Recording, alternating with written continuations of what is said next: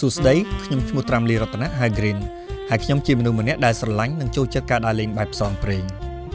ខ្ញុំបានដើរលេងនៅក្នុងព្រៃជាច្រើនកន្លែងនិងស្វែងយល់ពីធម្មជាតិនិងប្រជាជនដែលរស់នៅក្នុងព្រៃនៅទីនោះផងដែរឥឡូវនេះខ្ញុំកំពុងតែរៀបចំចេញដំណើរទៅស្វែងរកបទពិសោធន៍ថ្មីបន្ថែមទៀតនៅសហគមន៍ព្រៃឡង់ព្រៃឡង់លាតសន្ធឹងក្នុងខេត្តចំនួន4គឺខេត្តកញ្ចេះស្ទឹងត្រែងកំពង់ធំនិងខេត្តព្រះវិហារ វាគ្របដណ្ដប់លើផ្ទៃដីប្រមាណ50ម៉ឺនហិកតាហើយមានប្រជាជនរស់នៅប្រមាណ25ម៉ឺននាក់ស្មើនឹង340ភូមិដែលភាគច្រើនជាជនជាតិដើមគួយប្រជាជននៅក្នុងតំបន់ព្រៃឡង់ពឹងផ្អែកលើអនុផលព្រៃឈើដើម្បីធ្វើការចិញ្ចឹមជីវិត ជាក់ស្ដែងដូចជាបងសាំងយិនបានចូលមកព្រៃស្ទើរតែរាល់ថ្ងៃដើម្បីយកជ័រច្បោះគេជំរាបសួរបងជំរាបសួរសុខសប្បាយបងបងវិញលេងបាទបាទអរគុណបង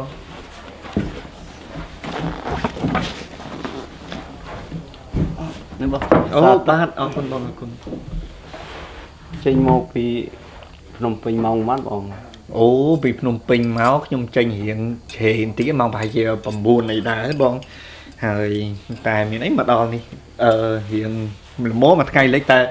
ផ្លូវឆ្ងាយតិចព្រោះចូលពីពងធំមករៀងឆ្ងាយបាទហើយ អត់ទេរីករាយមែនតើបានជួបបងម្ដងទៀតដោយការជួបលោកអង្គលើកមុនហ្នឹងគឺជួបទៅការដោយខាងអឺបណ្ដាញសហគមន៍ព្រៃឡង់បានណែនាំខាងបងមកពីព្រោះឮថាខាងខ្ញុំហ្នឹងចង់ស្គាល់ព្រៃឡង់ផងចង់ដឹងពីការជីវិតនៃការយកជាប់ទឹកផងដែរហើយចឹងទៅបងបងបងទៅយកជាប់ទឹកខ្លួនឯងតែម្ដងបងហ៎បាទបងអូហើយដល់ទៅយកញឹកញាប់ប៉ុណ្ណាដែរបងយកវា ប្រហែលជា10ថ្ងៃយើងទៅដួសម្ដងអូបាទចង់អឺចឹងតែស្អែកបងត្រូវទៅអត់ទេអត់ទេតែបើចង់ឃើញខ្ញុំជូនទៅមើលទៅយកបាទបាទបាទអូតែពេលទៅចឹងយើងអាចជួបមួយអ្នកយកជាប់ទឹកផ្សេងផ្សេងដែរតែមិនចឹងបងណាបាទអូចឹងក៏ចង់ដឹងថាបងយករបៀបមិនហើយអ្នកផ្សេងគេយកអីអីចឹងពីព្រោះអ្នកខ្លះគេយកតិចយកច្រើនឬយកប្រប៉ុនប៉ុនគ្នាទេបាទយកមានតិចមានច្រើនអូចឹងចឹងដើមជួយច្រើនទៅគេច្រើន បាទនៅអញ្ចឹងមានស្អែកបានឃើញអញ្ចឹងបាទបានឃើញតបនេះបាទអរគុណបាទបាទអរគុណច្រើន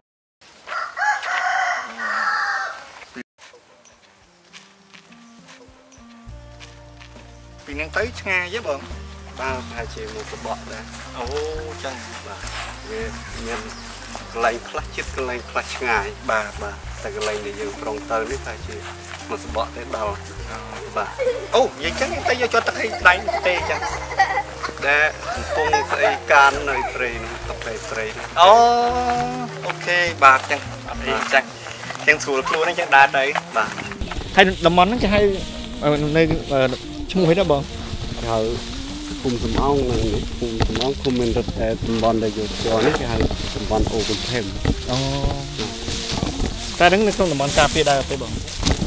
បន់ការពារអានេះប៉ុន្តែវាតំបន់ការពារ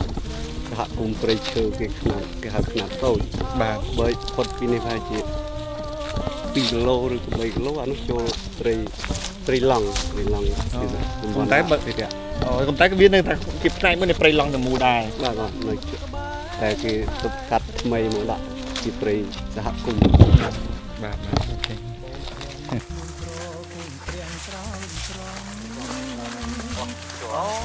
បាទទីនេះហើយជាកន្លែងដែលខ្ញុំចង់មកឥឡូវនេះខ្ញុំកំពុងតែជន់លើទឹកដីព្រៃឡង់ហើយសម្រាប់ខ្ញុំក្នុងដំណើរនេះជាបទពិសោធន៍ដ៏ថ្មីស្រឡាងមួយនេះគេហៅពង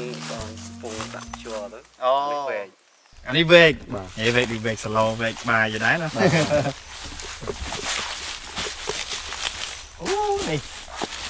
រុនគេអត់មានជួរស្រាប់ចឹងបងមានអាខ្លះចេញ ពេញអាខ្លះកន្លះវាដោយដើមអូតែមិនមានមានន័យថាយើងសល់តាំងពីថ្ងៃមុនបាទបាទអូ10ហើយជា10ថ្ងៃយើងដងមួយសាបានវាមានជ័របាទជាទូទៅការដុតយកជ័រច្បោះក្នុងមួយដើម10ថ្ងៃទើបគេដុតវាម្ដងដើម្បីឲ្យវាចេញជ័រតាមធម្មជាតិនិងមិនប៉ះពាល់ដល់សុខភាពដើមឈើផ្ទាល់គេត្រូវចំណាយពេល5នាទីដើម្បីដុតវាឲ្យចេះសព្វមុននឹងធ្វើការពន្លត់អូចឹងហ៎ ក្នុងមួយថ្ងៃបងប្រុសសាំងយិនអាចលក់ជ័រច្បោះបានប្រមាណ100ដើមគាត់អាចលក់ជ័រទឹកនោះក្នុងតម្លៃ80000រៀលសម្រាប់30លីត្រតែតម្លៃទីផ្សារតែងតែឡើងចុះមិនសូវទៀងទាត់ជាហេតុធ្វើឲ្យរបរយកជ័រទឹកកាន់តែខ្សត់ទៅខ្សត់ទៅដើមឈើទាលដែលគាត់កំពុងតែយកនេះត្រូវបានបន្សល់ទុកតាំងពីចំនួនឪពុកម្ដាយរបស់គាត់មកម្ល៉េះ ចាំត្រូវទៅយកមុខទៀតហើយបាទបាទចាំនេះណាចាំអូចុះអានេះក៏មានពីរកលៈអញ្ចឹងបងអានេះវាហៀទៅយើងជីកទៅនៅលុកនៅក្រោមទៅវាដួសបាននៅក្រោមទៀតអូហេតុអីបានមានវាច្រើនម៉េចដោយដើមយើងអាណាវាចេញចេញច្រើនច្រើនអាណាចេញអត់ចេញចឹងមានន័យថាអាហ្នឹងហ្នឹងវាល្អបាទទឹកចេញអូគឺចប់ ខ្ញុំខ្ញុំសុំសួរបងតាក់តងការយកជ័របន្តិចបងនិយាយចឹងបងយកតាំងពីអាយុប៉ុន្មានមកខ្ញុំប្រហែលជាតាំងពី15ឆ្នាំអូបាទហើយគ្រូសាបងយកដែរឬមិនគឺក៏បងអ្នកយកដំបូងគេខ្ញុំយកម្នាក់ឯងអូបើនិយាយទៅតាំងពីយកតាំងពីគេម៉ែពុកខ្ញុំទៅដល់គាត់ចាស់ទៅ ខ្ញុំធំអាចថាធ្វើកាត់ខ្ញុំធ្វើបន្តទៅគាត់សម្រាប់បាទហើយដល់មានការលំបាកមិនខ្លះបងក្នុងការយកជាប់ទឹកវាលំបាកដែរជួវាគឺថាទៅយើងយកបានមកវាធ្លាក់ថ្លៃវាថោកទៅបាទហើយខែភាសាយើងពិបាកយកនឹងភ្លៀងពេល ជួនកាលអត់ទៅបានជន់នេះគេដេលឹកនេះគេដិតនេះអូបាទបានវាចិត្តបើយើងដាក់អញ្ចឹងទឹកវាចូលទៅវាហៀជ័រចេញក្រៅអស់បាត់អស់បងឲ្យចុះក្រៅពីអឺយើងបញ្ហាទឹកភ្លៀងទឹកអីចឹងយើងមានបញ្ហាផ្សេងទៀតអត់ទេណាមានបញ្ហាជាមួយគឺបត់ល្មើសវាលួចកាប់លួចអីហើយតកែធំធំទៅគេទិញយើងគេគេប្រាប់ថាបើយើងមិនលក់ក៏គេនៅតែកាប់ដែរ ដល់ហើយប្រជាជនមួយចំនួនគាត់ខ្លាចគេកាប់យកទៅទេទេទៅគាត់លក់ខ្លះអីខ្លះអាអាអ្នកលួចកាប់មួយចំនួន នៅក្នុងឆ្នាំ2010កម្ពុជាបានបាត់បង់ព្រៃចំនួនជាង200,000ហិកតា ដែលនេះជាអត្រាខ្ពស់បំផុតដំណើរលើកនេះពិតជាបានបង្រៀនខ្ញុំច្រើនមែនទែនវាបានធ្វើឲ្យខ្ញុំយល់ច្បាស់អំពីជីវភាពរបស់ប្រជាជនរស់នៅក្នុងតំបន់ព្រៃឡង់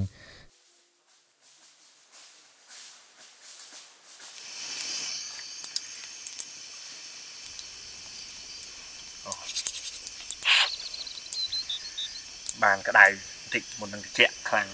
នៅកណ្ដាលព្រៃឡង់អឺថ្ងៃនេះបានទៅពេលទៅយកជាប់ទឹកជាមួយបងសាំងយិននៅឯក្នុងព្រៃឡង់ហ្នឹងគឺបាននិយាយជាមួយគាត់អំពីការបាត់បង់ព្រៃឈើដែរហើយសម្រាប់ខ្ញុំ គឺមានអារម្មណ៍តានតឹងពីព្រោះថាអឺមើលទៅមានមនុស្សភាគច្រើនអ្នកដែលពាក់ព័ន្ធមួយចំនួនគាត់រៀងអត់សូវចាប់អារម្មណ៍នឹងការបាត់បង់ព្រៃឈើនឹងការ កាប់ព្រៃឈើហើយប្រជាជនរាប់ម៉ឺននាក់គាត់ប្រស្រ័យភោគផលនៅក្នុងព្រៃឡង់ហ្នឹងដូច្នេះទៅហើយដោយសិនជាយើងដឹងស្រាប់ហើយបើសិនពេលព្រៃឡង់បាត់បង់ហើយដោយសារកាប់ការកាប់ឈើឬក៏យកឈើខុសច្បាប់នានាដូច្នេះទៅប្រជាជនរាប់ម៉ឺននាក់ដែលនៅជុំវិញព្រៃឡង់ហ្នឹងនឹងរងគ្រោះពីការបាត់បង់ព្រៃឈើនឹងនៅក្នុងព្រៃឡង់ខ្លាំងពីព្រោះគាត់អាស្រ័យភោគផលរបស់ព្រៃឡង់ហ្នឹង ដូចជាការយកជ័រទឹកការរឹសជ័រចុងការនេសាទត្រីយើងឲ្យច្រើនមែនទែនគឺជីវិតឬជីវភាពរបស់គាត់គឺអាស្រ័យនឹងព្រៃនឹងតែម្ដងបើបាត់បង់កាលណាបាត់បង់ព្រៃអ្វីៗផ្សេងទៀតនៅក្នុងព្រៃហ្នឹងគឺវាទៅតាមនឹងដែរដូច្នេះបើសិនជាពេលបាត់ចឹងចឹងទៅថាពួកគាត់អាស្រ័យទៅលើអ្វីហើយមាននឹងកាត់ឡើងចំពោះពួកគាត់នឹងជាចម្ងល់ដែរខ្ញុំចេះតែ ដាក់ដាក់សួរឆ្ងល់ដែរសោកស្ដាយដែរទួងបាត់ដើមច្បងបាត់អងទៀងស្នេហ៍មិនចាងស្រុកទេបដូរស្លាប់រស់ក្បែរនៅខែព្រៃឡង់បងធ្លាក់ខ្លួនក្រគង់ព្រៀងស្រោចស្រង់កាការពីព្រៃឡង់ឲ្យបានគង់វងគង់ជួបស្នេហ៍ ស្មោះ